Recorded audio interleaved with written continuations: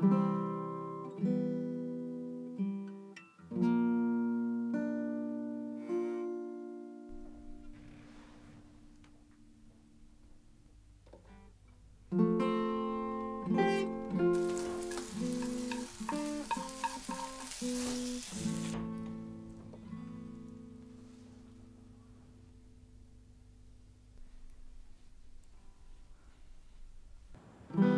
くら仲良くってもずっと一緒ってわけにはいかないもんね。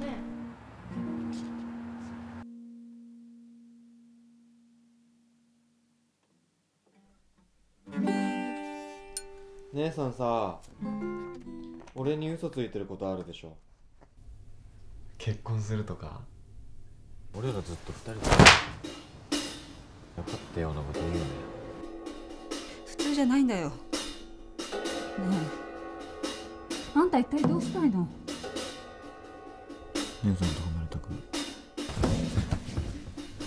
千吉さんはさ忘れられるの？お姉さんのこと